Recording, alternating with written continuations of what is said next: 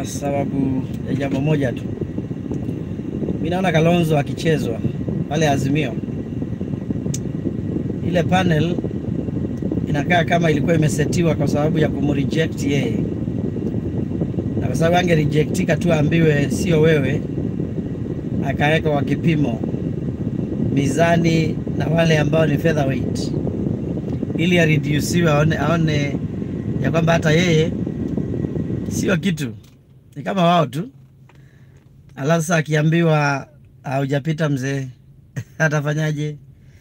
Sasa mi naona akichezwa, naona akichezwa huyu mzee, naona akichezwa, naona Wakamba tukikombolewa kutokana na kufuata Raila Odinga tena.